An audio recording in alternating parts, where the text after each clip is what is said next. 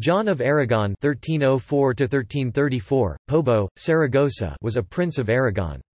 He was the son of James II of Aragon and his second wife Blanche of Anjou. He was Archbishop of Toledo from 1319 until 1328.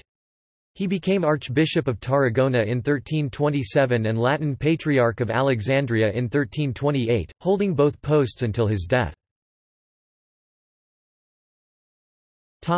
External links. Topic.